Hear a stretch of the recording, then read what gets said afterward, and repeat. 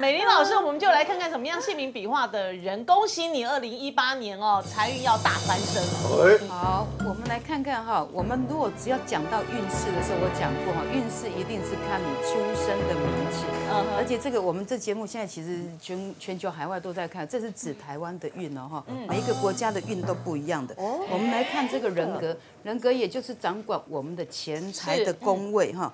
我们呢，其实现在人最喜欢对到什么？最喜欢对到副业，副业的财，因为现在各行各业不管家庭能多一条财路嘛。对嗯，现在现在物价都通膨了，你如果光只有凭你的正业的财是不是够的。而且我们现在很多家庭主妇其实也需要副业的财真的。我们来看看哈，这个副业才是大家最爱的。就当你的出生名人格有十一画、十五画、二十画、二十四画，有这些笔画的人，嗯，你们有哇，三个哎都中哎，哦，对呀，也也有。真的所以元琪不用担心。安心多了。这个副业呢，副业的财是大家最爱赚的，对而且呢，副业的财通常都比正业来得轻松。是是副业就是说，只要找你找对行业或找对商品，你就一定会赚到钱对。你知道吗？现在现在是是不是大家都老年化了？对很多人都会去做这些保健食品呐、或者是这些有机食品呐、或者是做一些这种专业的讲师啊，这些都是很好的。所以你如果有任何的这些第二专长，或者是你以前曾是，你知道现在很多老师退休了，他也没事干，哎，你也可以去教教课啊。现在很多小孩子需要大量的这些老师去做补习的，对这哈，所以我们。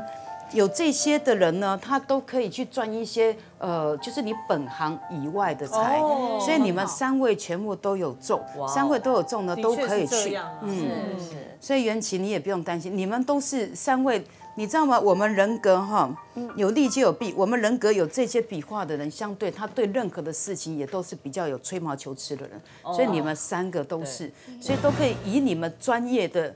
这个才能去赚到副业的财。是其实我们台湾很多的妈妈也很多也会做手工肥皂啦，做面包啦啊，保健食品啦，什么都可以哈。所以这个可以去赚这些财。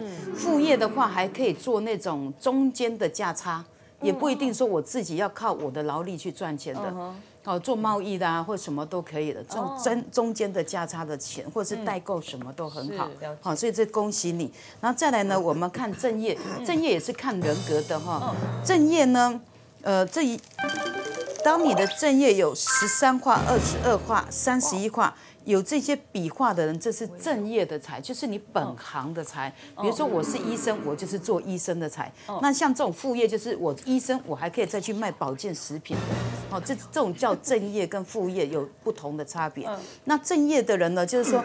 当我们走到正业财的时候，这也代表着说，你如果有好的项目，或者是有好的方向，你想要开店，可能这个时候就赶快去请老师算一算，因为我们正业才要开店的时候，或者是开一家公司，那一定还要你其他的工位也要跟着好，你要有员工运啊，有这个方向的运。如果同时都有这个运的时候，你去开这开这个时候是代表我们开创的时候，然后这是增加的时候，你们三位全部都是走到走到增加财，嗯，所以你们的副业继续做，肯定会发光发热，会赚钱。谢谢老。那有一些人呢，可能是上班上久了，他想要自己创业了。对，我们在走到正业的时候，你这个时候想创业的时候，就可以请老师去算一算，或者是请人家评估看看，好，我在这个时时间点可不可以去创业，或者是很多人是想要转行业，因为有一些是夕阳产业了嘛。对比如说现在手机都可以照相了，你的相相机的行业当然是会没落了。嗯，所以你就是，如果当你处于那种夕夕阳产业的时候，